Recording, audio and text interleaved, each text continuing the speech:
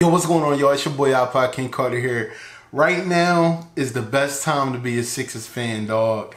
Listen, so much has happened tonight, man. Like my world has been rocked for real. Like these is one of those moments, those type of videos where I really break down to you guys like how long I've been waiting to feel like this. Like, you know, not I wouldn't call it butterflies.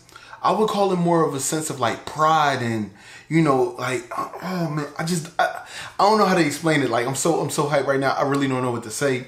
But basically, Ben Simmons has won the Rookie of the Year award, which Joel Embiid did get snubbed. But just because Joel Embiid got snubbed from that, EA Sports came out and gave him the NBA Live 19 cover athlete spot.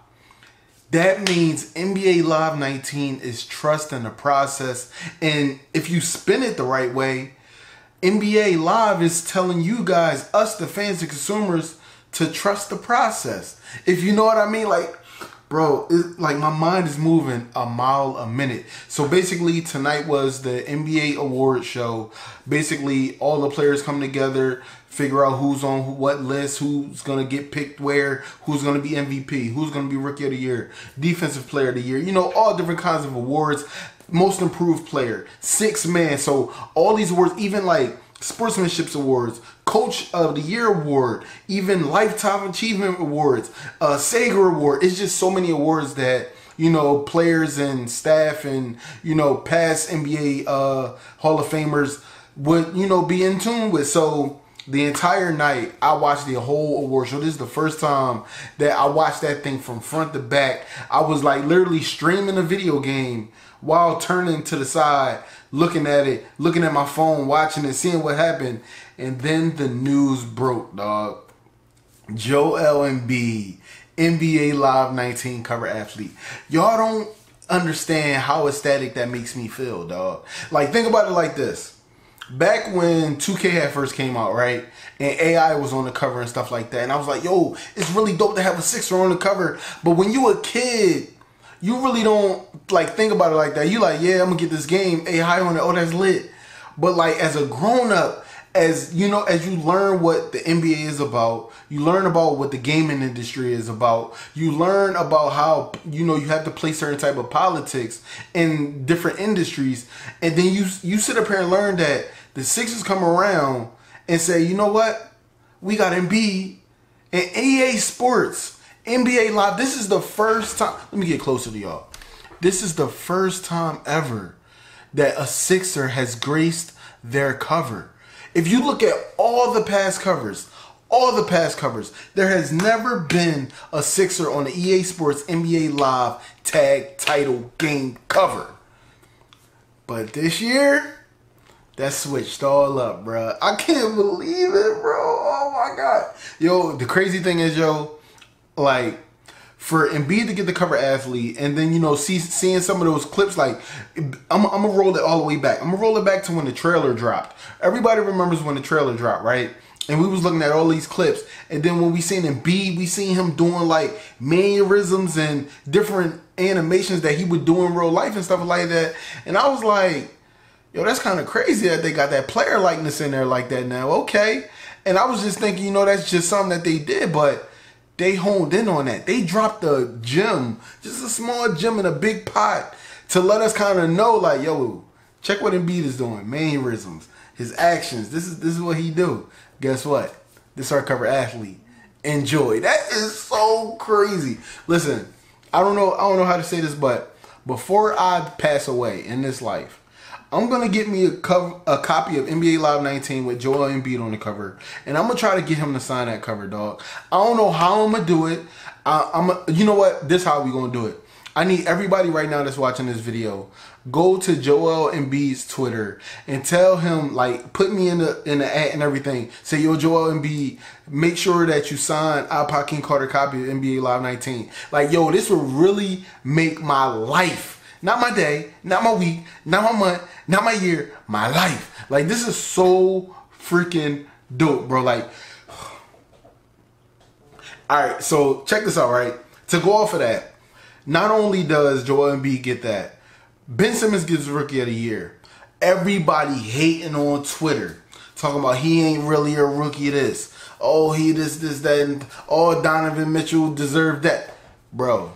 First of all, let me let me put it to you like this: the only player that I seen get MVP like bar none, like as far as like MVPs, rookie of the year, stuff like that, and talk continuous smack, had that crazy swagger like you don't give a, a, a rat's ass like what you think about what people think about you was Russell. Like Russell Westbrook was undeniably the MVP. Like we all knew that. But like dog, his swagger towards the media, all that like he he really lashed out, talked back to people. He didn't care, bro.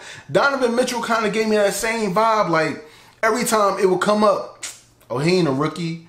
Oh, I, I should be the only candidate. Or he'll say something smart, a couple of little smart remarks and stuff like that. And I'm like, bro, like you you seriously think that you really deserve this over my boy Ben?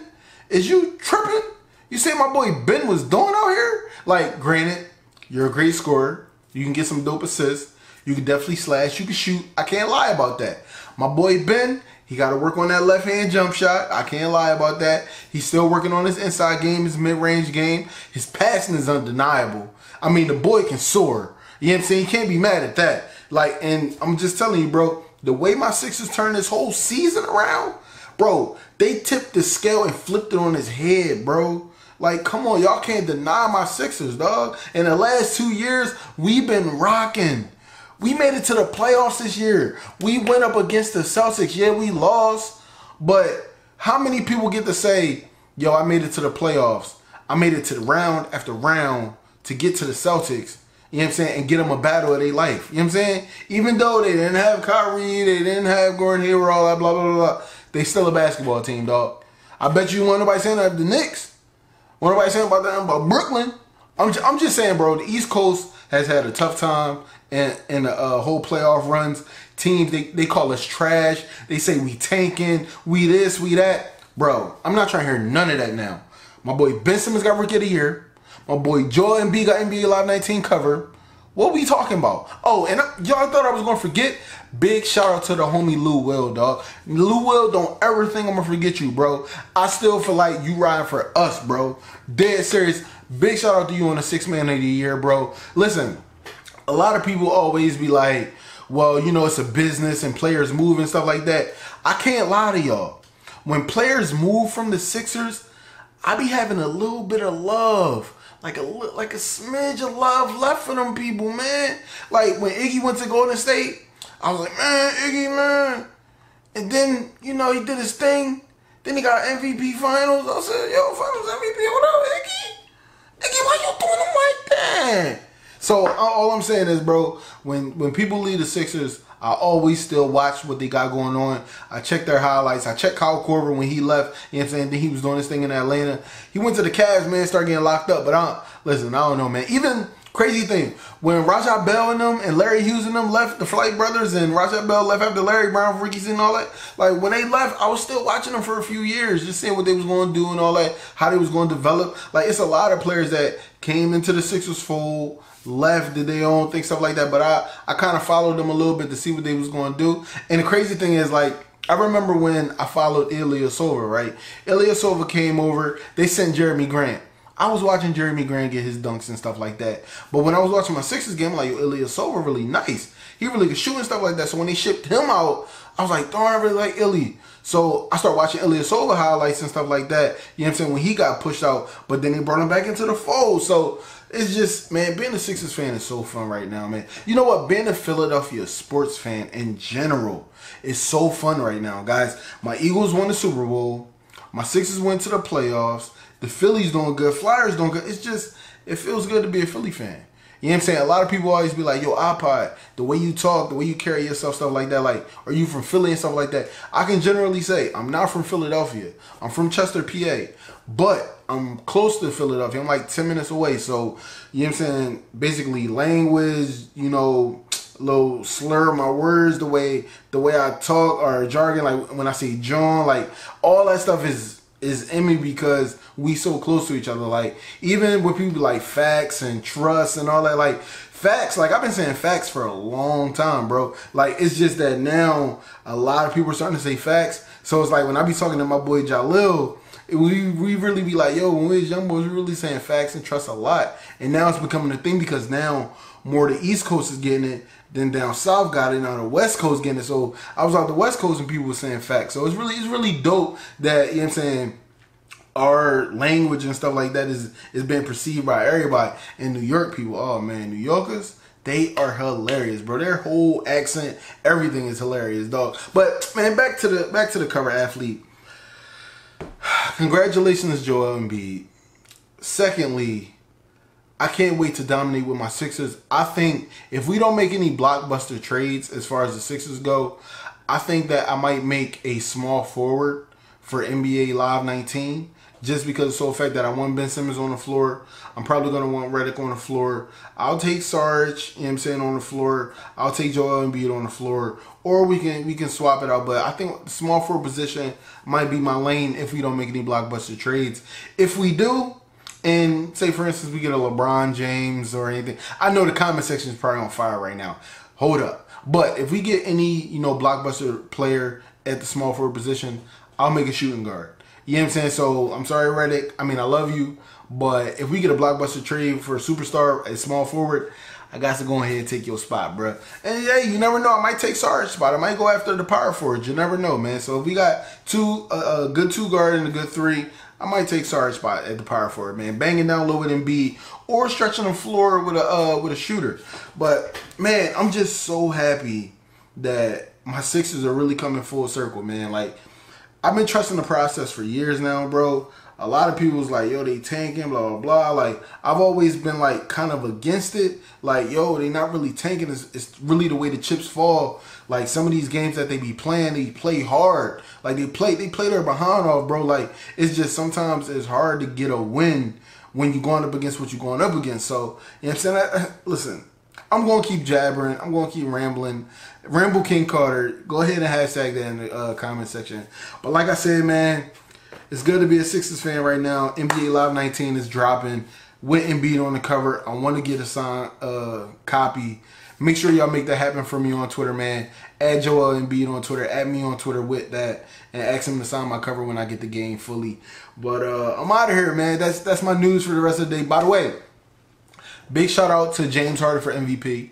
Very big shout out for you, bro, because to see what the Oklahoma City Thunder did as a unit and to see what each individual player did by themselves is remarkable.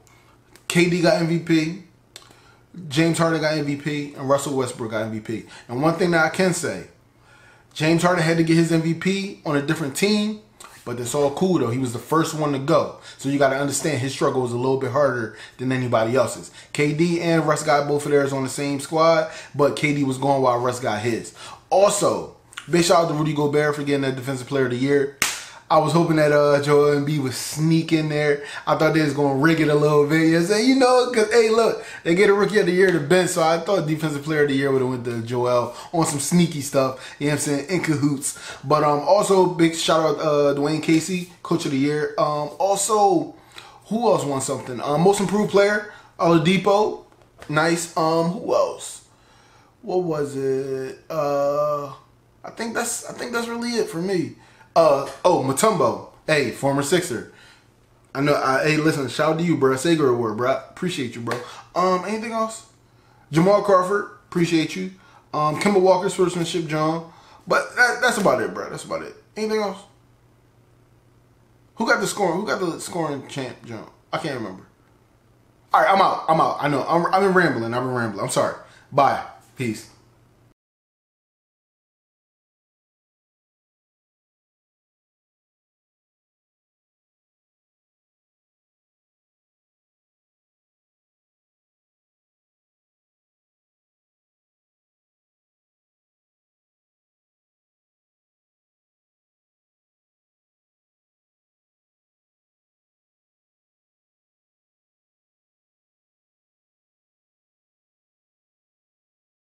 All right, guys, this is the end of the video. I hope you guys definitely enjoyed this video. Make sure you guys hit that subscribe button and you can also watch one of my previous videos after hitting that subscribe button. I hope you guys like this video. Let's get this thing to 5,000 likes. And this is your boy IKC signing out.